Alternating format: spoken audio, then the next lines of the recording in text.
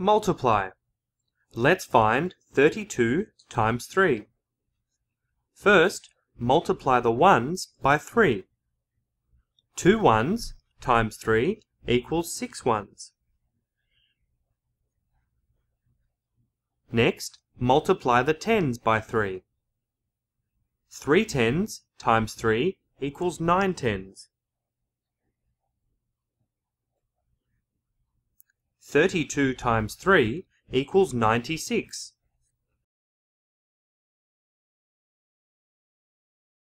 Let's find 21 times 4. First, multiply the ones by 4. 1 1 times 4 equals 4 ones. Next, multiply the tens by 4. 2 tens times 4 equals 8 tens. 21 times 4 equals 84.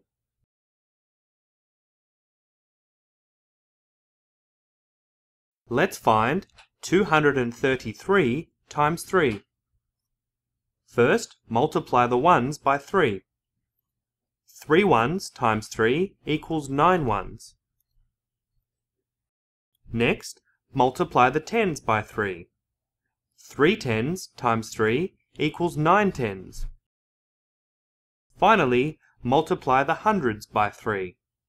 2 hundreds times 3 equals 6 hundreds.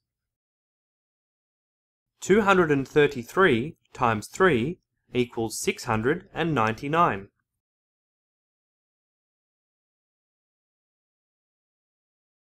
Let's find 341 times 2. First, multiply the ones by 2.